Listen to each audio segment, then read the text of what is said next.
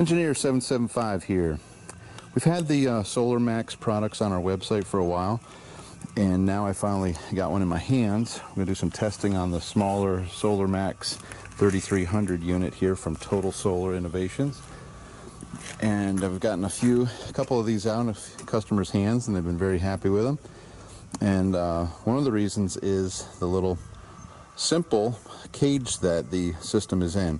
It's in a metal cage. It does offer some EMP protection.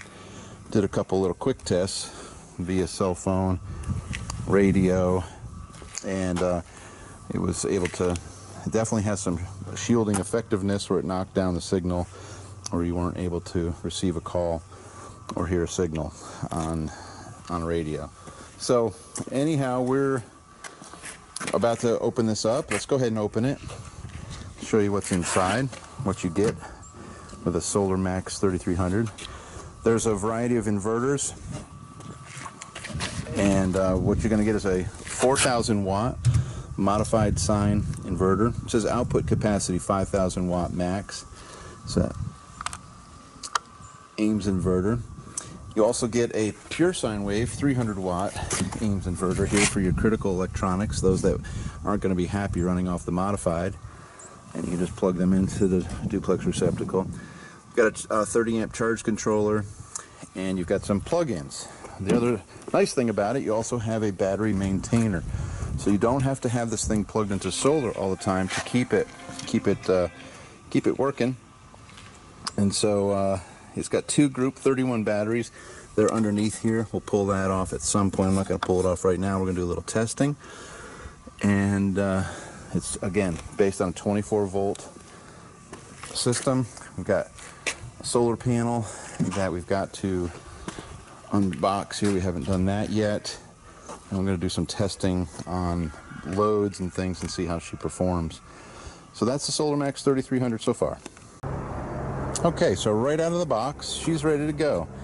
Uh, I just plugged in a, a grinder that uses about 800 watts. No problem starting it on any one of these receptacles here so that's easy enough. So ready to go. You also have a terminal block that you can wire uh, to uh, a cord or to a breaker and again have a licensed electrician do that or you can take full power the full four to five thousand watts out of that inverter and again it's a 5,000 watt max 24 volt inverter so you're only going to get 1500 watts per each receptacle, but that's usually good enough to run most of the things that you should be running off of this system with the, only the two batteries. So, excellent. So far, so good. Let's uh, work on the solar next. Okay, the next thing I want to show you is that it's charging uh, the batteries off of solar. You'll see the solar is easy, standard duplex receptacles and a 50 foot cord that is hooked to standard MC4 connectors, the solar connectors. So it's all plug and play. Just plug your solar panel into the cord. They're male and female. You can't get them backwards.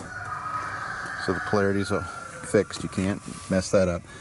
And we were at 25 volts and we're up to 25.4. Just it's 4.30 in the afternoon and it's charging away on a partially shaded panel. So it's working great, charging away and 24 volt currents for current we're putting a couple amps in to the battery. So everything seems to be working as planned. And again, if you don't want to hook up the solar panel and uh, you only want to use your solar panel in an emergency situation, you have this 24 volt onboard charge controller you can just plug into plug into the grid as a maintainer, as a battery tender to keep the two batteries floated, ready to go when you need it.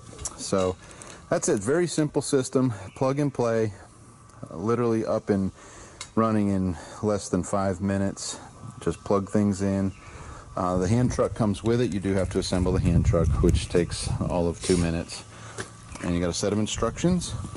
It shows you what everything is and how to how to start it up and it's got all the manuals on the inverters and everything else because if you want to get fancy and do and hook up all the power then you can and it'll show you how to do that and there are remote controls and all sorts of things that you could do through through AIMS Corporation if you wanted to. But that's it. The Solar Max 3300 out of the box, ready to go. Has a great emergency solar battery backup system. We've got a. Well, it comes with a single solar panel. I forgot the wattage. I think it's a 250 watt. It's a 230. Excuse me. We have a 230 watt polycrystalline uh, solar panel, solar module there. So fully self-contained system, ready to go. This is Engineer 775 signing out.